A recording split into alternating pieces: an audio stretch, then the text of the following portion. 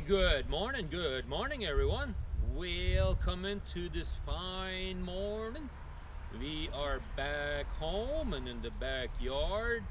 Had a good long sleep this morning. As you guys probably know from yesterday's video, I had to go deliver there at uh, 4 a.m. in the morning. So I was pretty tired by the time I got home. I got home probably about quarter after 6 or 6.30, something like that. So we went straight back to bed and slept till about 10 o'clock this morning. But hey, I was bobtailing home there yesterday, or this morning I should say, and uh, I did something that I have never done before. No, that is I put a camera in the back of my cab and also one facing forward.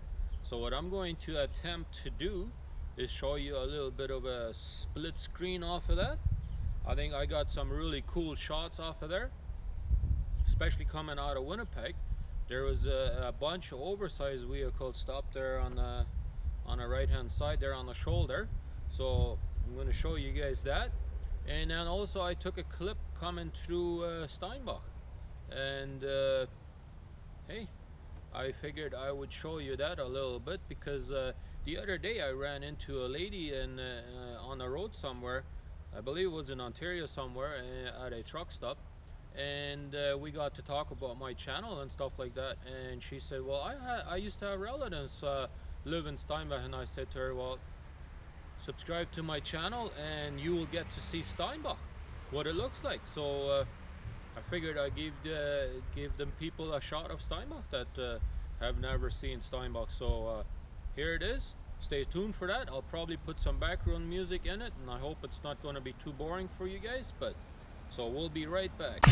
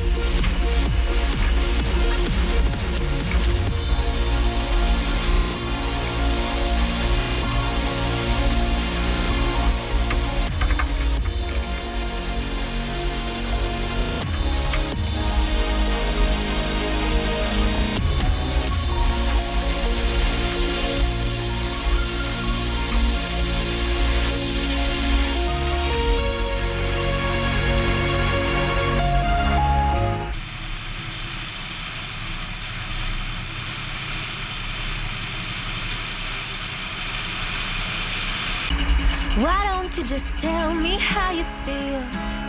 And honey, we can move past speculation.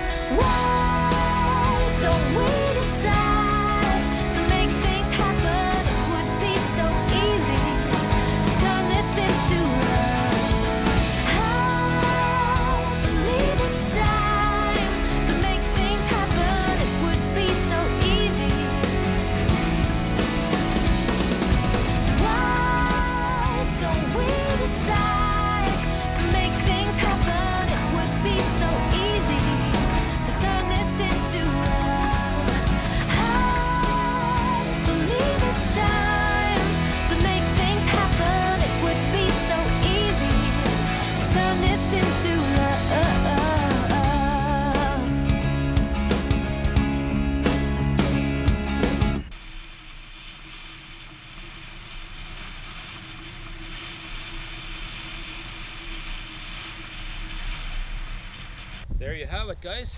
I hope that you guys enjoyed it. I certainly do. It looks pretty cool. Hey, what I also forgot to mention is uh, if you go back and as I'm coming into Steinbach, well, it's not really coming into Steinbach, where I'm coming up to the light where it's red, where I'm going to make my left-hand turn to come onto Main Street. Just keep a close eye on it. I'm gonna try and see if I can zoom in on it a little bit or not. But there's a semi truck coming off the uh, off Main Street there and, and coming onto Highway 12, and he's looking so hard uh, to see if somebody is coming uh, from that that way, you know, because he's got to get into the lane that he actually accidentally goes onto the curve and he's going like this all, all over the place, you know. And I had my camera on and I looked at it earlier and uh, it is actually on there. It's a little far in the distance, but if you look real close, you go back or whatever, and uh, or maybe I'll put a put a label on there and maybe I'll zoom in and, and say look at this truck here and see what he did. And I figured I would explain this a little bit on what happened there. But hey that's pretty much it for today. It didn't do uh, very much. Oh I was pretty tired today so I just laid back and worked a little bit on my videos today and got a few of them uploaded for you guys and that's pretty much it so uh, in the evening I went and uh, played some volleyball and that's pretty much it. I had a great family time and that's it. So thank you guys for joining me today on my vlog and we hope to see you again tomorrow. Thanks for watching.